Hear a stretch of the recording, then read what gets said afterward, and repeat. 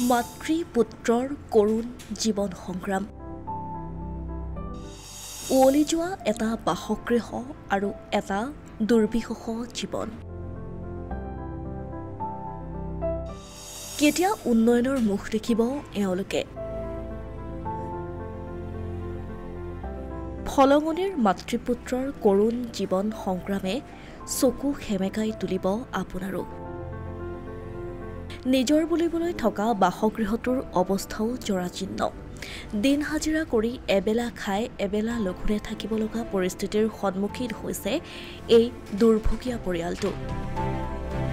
মহিলাগৰাকীৰ নাম ভাৰতী গগৈ। এটি তেৰ বছৰীয়া পুত্ৰ সন্তানক লগত লৈ কোনোমতে জীৱন অতিবাহিত কৰিছে এইগৰাকী দুৰ্ভগীয়া মাতৃয়ে। ডেৰ বছৰৰ পূৰ্বে স্বামী প্ৰশান্ত ফুকনৰ মৃত্যুৰ পাছতেই গভীৰ অমানিশা নামি আহিল পৰিয়ালটোলৈ। চৰকাৰী সুবিধা বুলিবলৈ শেহতীয়াকৈ প্ৰধানমন্ত্ৰী আৱাস যোজনাৰ এটা ঘৰ আবণ্টন কৰিছিল পঞ্চায়তে। কিন্তু কথাতে কয় নহয় বিধিয়ে দিলেও বিধাতাই নিদিয়ে। বেংকৰ একাউণ্টৰ কে ৱাই চি আপডেট নথকাৰ বাবে ঘৰ নিৰ্মাণ কৰিবলৈও অপাৰক হ'ল পৰিয়ালটো।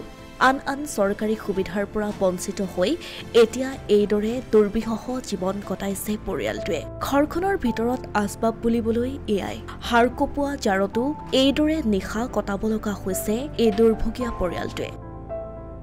হয় এই কৰুণ দৃশ্য এইখন অসমৰেই। গোলাঘাট জিলাৰ মৰঙীৰ হলঙনিৰ এই দৃশ্যই এতিয়া বুকু কঁপাই তুলিছে বহুজনৰে।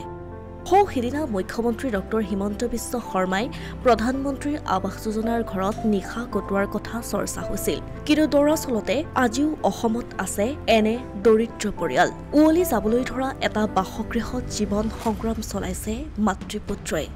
যি সময়ত চৰকাৰে উন্নয়নৰ কথাৰে ঢাক ঢোল বজাইছে সেই সময়ত সততে সৃষ্টি হৈছে বহু প্ৰশ্ন।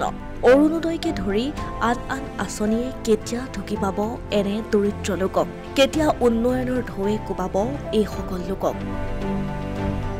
কেতিয়া এওঁলোকৰ দৰে পৰিয়ালে লাভ কৰিব চৰকাৰী আঁচনিৰ সুবিধা। অসমীয়া প্ৰতিদিন ডিজিটেল সংবাদ গোলাঘাট।